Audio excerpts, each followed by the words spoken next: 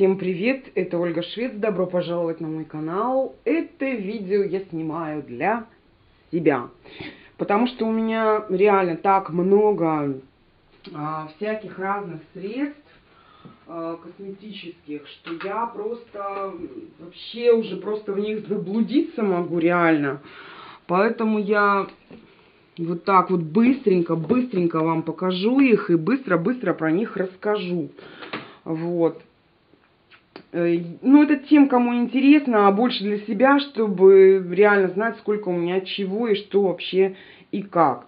Значит, э, вот такая ужасная палеточка с китайских сайтов, но я бы ее рекомендовала новичкам. Проблема заключается в том, что один из корректоров в моем а, личном понимании воняет. Вот. Но после проветривания длительного достаточно, как бы запах этот улетучивается. Мне он очень дискомфортный. А, вот такую палеточку. А, это что у нас получается? Это получается тени а, обычных нюдовых оттенков. Очень рекомендую, за 150 рублей купила в универмаге.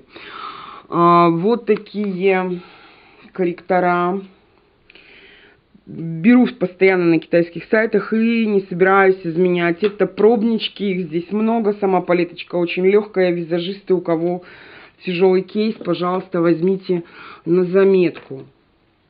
А, вот такие сухие корректора. Вот. А, трещит коробка. Ну, я вообще не удивлюсь, потому что уже достаточно много времени вот так выглядит бренд, и я постоянно тоже ношу с собой.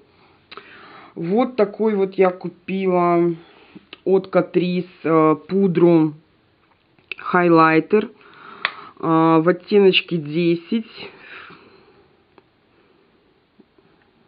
Вот, в оттеночке 10. Выглядит хорошо, работает отлично. Еще один классный продукт от Catrice брала прошлым летом. Это вот такой бронзер. А, он почти без запаха. Я уловила какой-то легкий хвойный оттенок 0,10. А, пользуюсь, нравится, нескончаемый продукт. Это лимитированные колорамы от э, Maybelline. Была еще белая перламутровая. Эти пока держится. От белой перламутровой вообще не осталось и следа.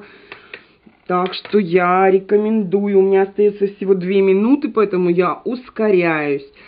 Итак, если э, рассматривать Никс и Колораму, ой, сори, не Никс и Колораму, Essence, Колорама лучше. У нее идет подсветочка, у Essence этого нет. А, вот такой а, китайский бренд. Обратите внимание, если кто-то увидит. Продукт просто нескончаемый. Этим а, коробочкам, я не побоюсь этого слова, я их брала, наверное, в начале лета 2014 года, и при этом я их постоянно использую, как на работе, так и на себе. На работу я ношу а, чаще вот эти два, и они постоянно в кейсе. Обратите внимание, это не люксовый продукт. Обратите внимание на упаковку. Все прекрасно.